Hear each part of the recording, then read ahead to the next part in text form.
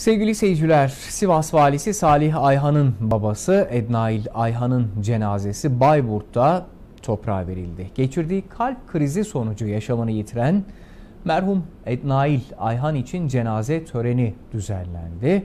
Cenaze namazını Vali Salih Ayhan kıldırdı.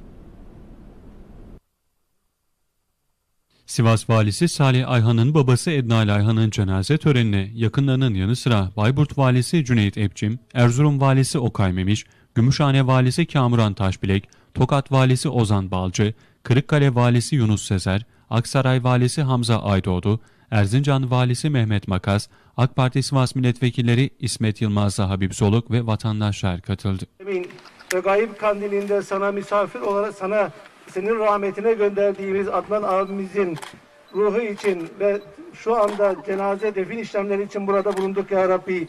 Cümlemizin toplantısını hayırlara vesile eyle ya Rabbi. İlahi ya Rabbi bugünler yüz su hürmetine Cenaze töreni öncesi konuşan Vali Ayhan, babası için helallik isteyerek, vaktin sahibi Allah'tır, bizim de sahibimiz Allah'tır. Dolayısıyla buna inandığımız için rahat ediyoruz dedi. Arkadaşlarım,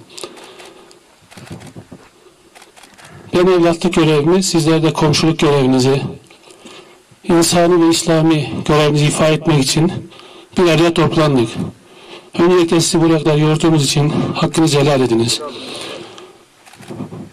Şöyle bakıyorum da kainat kefenini giymiş vaziyette. Babamla yine kainat herhalde uydu. O da kefenini giydi ve son yolculuğuna dostlarımızla birlikte yolluyoruz.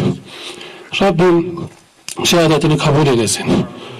Dayanmak zor elbette ama hani birbirimize teselli verirken hakka yürüdü, emaneti teslim etti,